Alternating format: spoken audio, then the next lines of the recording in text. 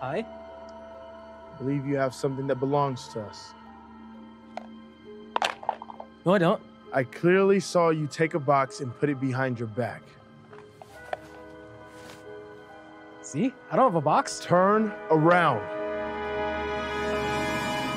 Before I turn around, uh, what, what was your name again? I'm Agent John Smith. Oh, you're an agent. Ah! I didn't recognize you without your your your suit, man. Hey, that's a good look on you.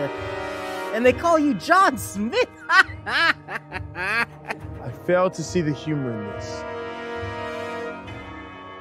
I guess what they say about MK Ultra is true. What's that? They take the soul right out of you. You've wasted too much time.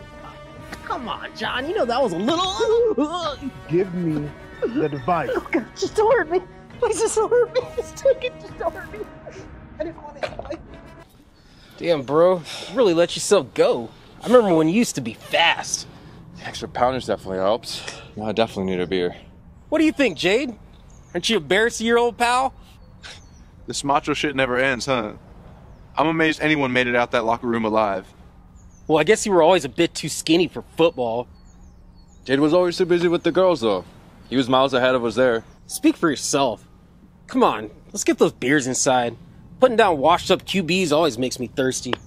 Perfect frequency. Jesus Christ, Ted, will you shut up? I mean, I feel bad as it is failing my physics 100 class. You guys will probably be busy getting some in the rooms, and I'll just spend my time on the couch watching some Skinemax. the fuck, man? Eddie! You see what you did? Hey there. Hey! Oh, jeez, this is kind of creepy out here, you know? Yeah, well, that's the fun in it. Water looks cold. Yeah, you know, cold water and guys and skinny dipping, uh, you're not really gonna be impressed. Oh, Jerry? Uh, hey, uh, Scarlett? Got plans for all those tissues? Uh, allergies? Allergies, Jerry. You know what? I have an allergy too.